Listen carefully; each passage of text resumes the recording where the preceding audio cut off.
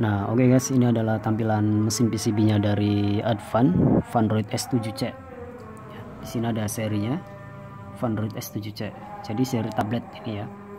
Nah, di sini ada pengenalan baterai, di sini ada soket, soket baterai, kemudian di sini ada jalur buat speaker ya.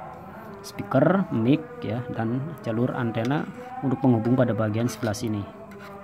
Ya. Nah, di sini ada soket pada tombol power dan volume up down ya.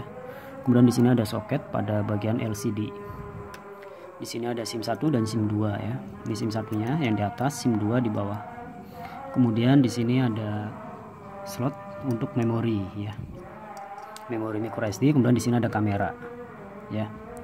Ini buat terhubung pada jaringan-jaringan Bluetooth dan WiFi ya. Ini WiFi yang sebelah sini ya. Ada bacanya WiFi ya. Oke cukup sekian terima kasih bagi teman-teman yang pengen tahu bagian dalaman mesin tablet Fun Android.